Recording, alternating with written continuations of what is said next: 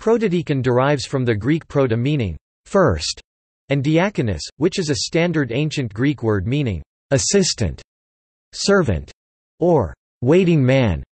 The word in English may refer to any of various clergy, depending upon the usage of the particular church in question. Eastern Orthodox and Eastern Catholic churches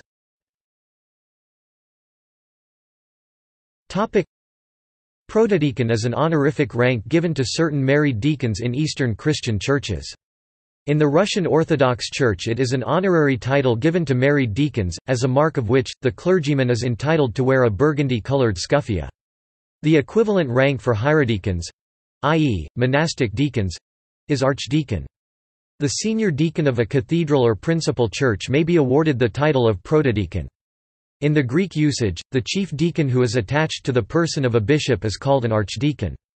In the Slavic usage a protodeacon or archdeacon wears a distinctive orarion deacon's stole.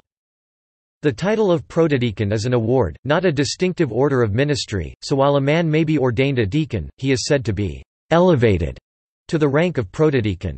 This elevation may be awarded only by the deacon's own ruling bishop. The rite of elevation is identical for both a protodeacon and an archdeacon, and is normally done during the little entrance of the Divine Liturgy. A protodeacon has precedence when serving with other deacons, regardless of the date of his own ordination to the diaconate. If several protodeacons serve at the same time, their order of precedence is determined by the date of their elevation. In the Archieratikon Slavonic, Chinovnik, the liturgical book containing the services as celebrated by a bishop, the term protodeacon is used to refer to the senior-ranking deacon who is serving, regardless of whether or not he has actually had that rank bestowed upon him. Latin Church.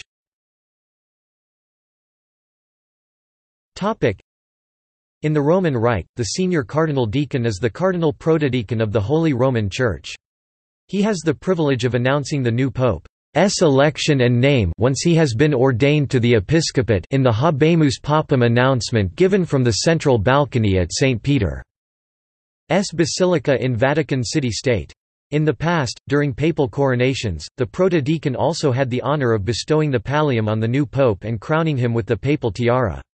However, in 1978 Pope John Paul I chose not to be crowned and opted for a simpler papal inauguration ceremony, and his three successors followed that example. As a result, the cardinal protodeacon's privilege of crowning a new pope has effectively ceased. However, the protodeacon still has the privilege of bestowing the pallium on a new pope at his papal inauguration.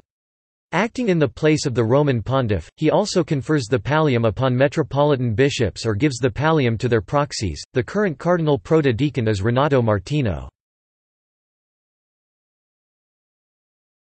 Topic: Canon law references. Topic: Topic: External links